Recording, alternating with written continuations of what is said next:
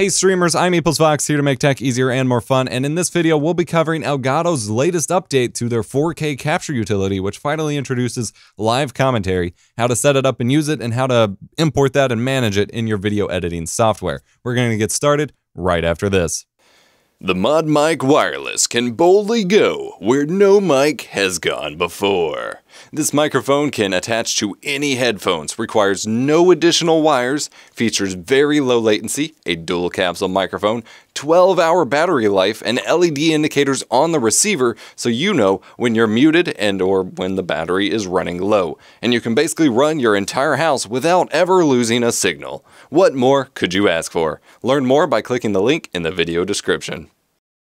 If you haven't already, of course, go ahead and update your 4K capture utility software. There should be an auto pop-up that appears when you launch the software asking you to update. Otherwise, download the installer from Elgato's website. Once you have updated, of course, it will look mostly the same. Head on over to your settings cog. Make sure all of your normal settings have stayed the same or are good after the update. Sometimes that resets stuff. Head on over to the new mic tab. And here you have the option, uh, quite a few options, but firstly, the option to choose which microphone you're actually running with. And the default may not be right. I just plugged in a new webcam, and so it's defaulting to that. But I'm going to choose the input for me, which is coming from my USB multi-track mixer right here. Yours may be a mic in on your motherboard or a USB device or something. You should know what it is. I'm going to click one, two. That's my input.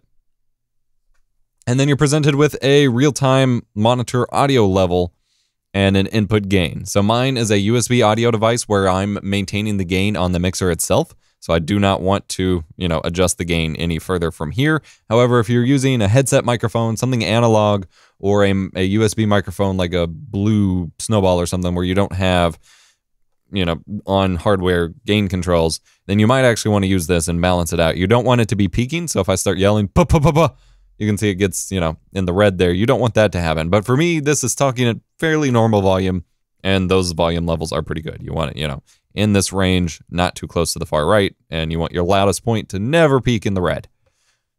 Always safer to just go with like 98 if nothing else. Now, you have two checkboxes here. One is mono down mix. This is for USB audio interfaces like the Focusrite 2i2 or the Behringer UMC22 or 204HD or my multi-track mixer where my microphone is only actually coming in on the left-hand side. And so if I just recorded it as is, everybody's right ears would be pretty lonely.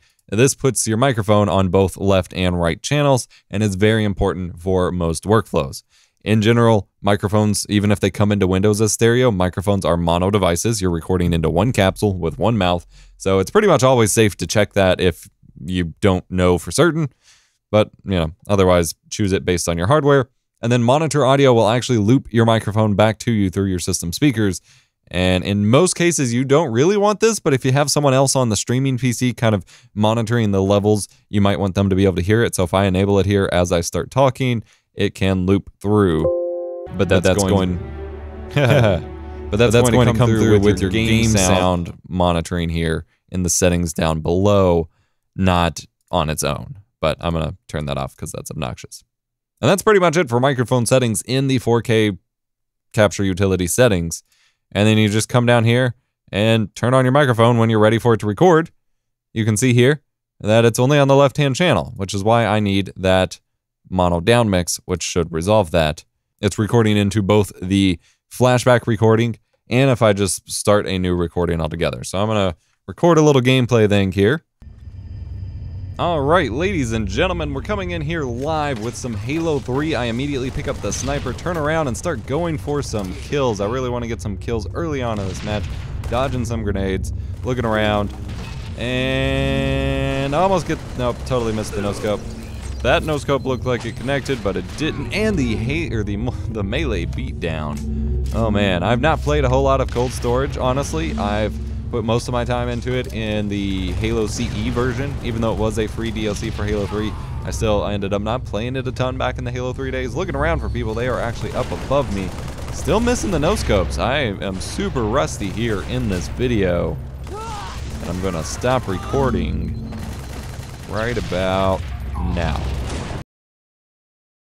Now I have stopped the main recording. So if I go into my library here and go down to, we have today. Something to note with your library if you see videos that don't have an actual preview, they just have the Elgato logo more often than not.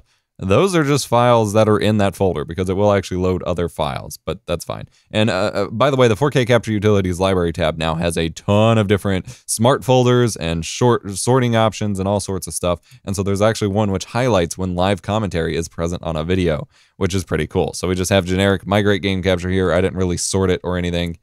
You can right click it, open with default player, open with file explorer, open project file, open with media info. You have a lot of stuff here. If I go to open project file, I don't think that's going to do anything. If I open in File Explorer, we can see we have the MP4 itself along with the M4A live commentary audio and a copy of the game audio separated as well, which is pretty cool. So if we go ahead and pop that up in the player here, in 4K experience with it is actually on uh, Halo Combat Evolved, not, ooh, almost got the no scope there. That is something that you will run into using this method if you specifically prefer to have Elgato handle your recording and things like that versus OBS. Instead of having it as actual multiple different tracks in one video file, you have a separate video file and separate audio file. And you can actually see here the audio file is six seconds longer than the video file, which will mean you have to do a little bit of work to sync it up. Unfortunately, that's just the downside of handling it this way, but here's the information available to you regardless.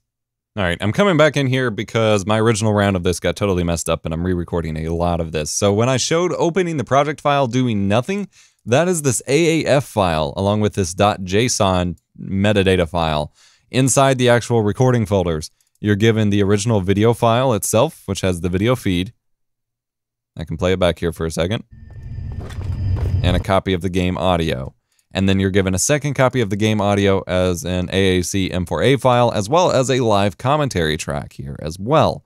And then you can use this AAF file to import them already synced up in most cases. My original test run, this was not the case, but in most cases, you will import this and it will actually sync it up. So I'm going to show you that real quick here. I'm going to open up Adobe Premiere Pro, and this is the same in most professional-ish video editors that support this format. Go to File, Import, and then come down here and find that .aaf file. Click open. And then it's going to import everything and it's actually going to make a folder. It's going to make its own bin or folder. And in that bin or folder, you're going to have a sequence that has all of this stuff already lined up. So I'm going to go ahead and open that. Now the sequence is set for 1080p. It apparently doesn't adapt to uh, your resolution that you recorded at. So you got to like shrink your video footage down or change that.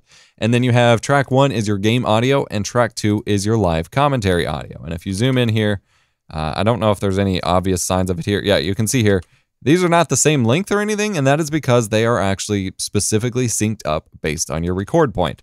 Like I said, my original recording of this, this was not the case, but I believe that's because I had OBS running at the same time. And so you can see here, you have your game audio on one track that you can then lower the volume for. So I'll turn that down real low and then your live commentary here. And then you can apply audio editing or things like that to your live commentary track if desired as well. So then if I play it back, all right, ladies and gentlemen, we're coming in here live with some Halo 3. I immediately pick up the sniper, turn around, and start going for some kills. I really want to get some kills early on in this match. And then if I just mute out my live commentary and say turn up the game sound, you can hear that that's also intact.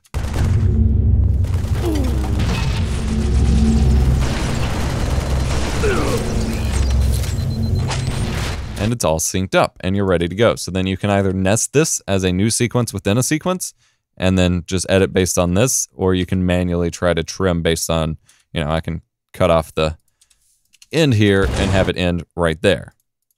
Pretty cool stuff, and I'm glad that they have included this. A couple suggestions for the future is I would like to see them make the sequence size based on the resolution you're recording at. And also, if I come in here what they have done with the video file is that they bring it in as just a video in the first place, and so your audio is actually only a mono track, which is really not good. If I drag in the original MP4 recording that it uses, you can see here it's actually a stereo recording. So I don't know why they've ch chosen to do this unless that's just like an unintended feature. And it may be doing this based on the down mix to mono thing, but I actually had that unchecked when I recorded this but it also did my uh, microphone as a mono clip as well. So maybe that functionality just isn't working properly because you can see here I go to my audio and it's set to that. So I'm going to record another one real fast and see if that's still the case, but I don't really expect much. All right, so I'm importing another test recording I just did just since I don't know that I restarted the app after unchecking down mix to mono. Yep, even with restarting the app after unchecking it, the gameplay volume here is still only mono. So that's my only real feedback here. And the same thing with the microphone. Like that seems to just kind of be ignored, I guess. Uh, really weird. Uh, but with the way that they have it introduced, there's no way to manage the clip attributes or like bring the volume back without just re-importing the game MP4 and syncing it back up. So that's all I really got to offer here. Thank you so much for watching. Hit the like button if you enjoyed. Subscribe for more tech education. Let me know how you're going to use this live commentary feature and if you prefer using the native app like the 4K capture utility versus using OBS Studio and why. I'm EposVox here to make tech easier and more fun, and I'll see you in the next one.